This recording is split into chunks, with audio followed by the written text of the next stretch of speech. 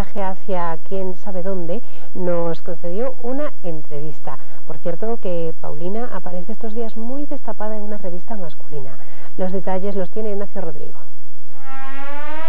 Siempre fue artista de éxito, pero con esa gafa descomunal da un aspecto como más así, más internacional. Paulina ha elegido hoy un look mañanita de resaca y la gafota, al parecer, tapa las secuelas de un accidente. He tenido un pequeño accidente, mira, aquí tengo un poco de, ¿sabes? Aquí tenido un pequeño accidente, pero todo ha salido súper bien. Tengo unos puntos en el, en el, brazo del lado izquierdo, porque el, coche me, me impactó del lado donde yo manejo, los vidrios y tal, pero tengo nueve puntos en el brazo y, y me, el golpe en la cabeza. Siendo en la cabeza lo esencial está a salvo, a saber, este cuerpo de gata que explota en la portada de una revista. A Ricardo le parece bien, siempre que le toque ver a su novia de vez en cuando. Es bueno que dentro de una relación existe un poco de distancia para poderse añorar y extrañar y... Y tú sabes. Y para que no queden dudas, estos amigos se casan. No es broma, se casan. A estas horas los dos están poniendo los últimos claveles al altar, fuera de España.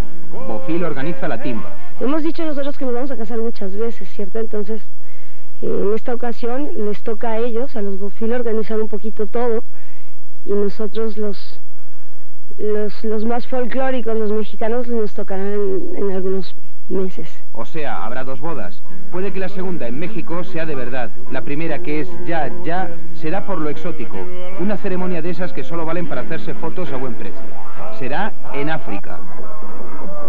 Imagínense, aunque al parecer la boda carnaval podría tener lugar en Tombuctú, la reina de las arenas de Mali. Pau protege su exclusiva. Eso, eso eh, en su momento. Nosotros tratamos de hacer una ceremonia para los amigos, para la familia, y eh, eso es lo más importante. Olvida a Ricardo, para él hay cosas muy importantes. Un reportaje de estos más o menos cuánto cuesta. No tengo ni idea, no puede faltar valoración. bueno, va, vamos a hacerlo, cariño. Ricardo.